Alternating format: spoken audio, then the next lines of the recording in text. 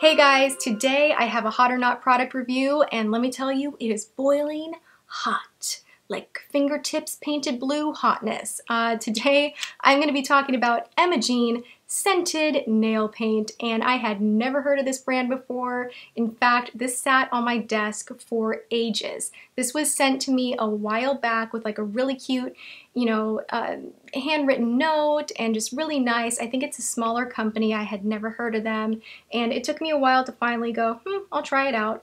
And from the first nail painted, I was like in love, hooked. It applies so beautifully. It's so creamy, not streaky, and dries quickly. So you can go from one coat to the next, which I find really unusual with these kind of like cream gel-like finish polishes.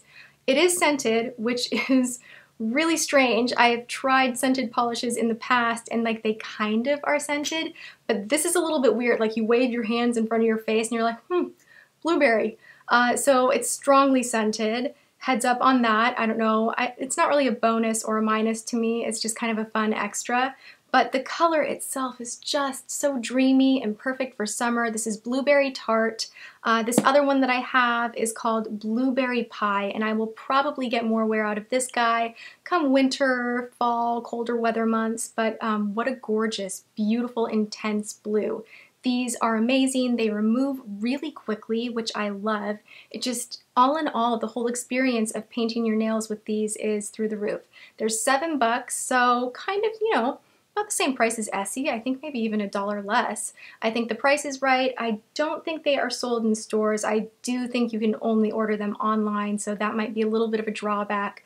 But I had to support a smaller kind of boutique brand that I had never heard of that I think is truly amazing. And I am going to be ordering more colors because oh my gosh, I like, I paint my nails all the time and I never get this many compliments on the look of it, the color, uh, just everything. And I'm so, so happy with this product. So I hope you check out this line. If you are a nail polish lover like I am, you won't be disappointed.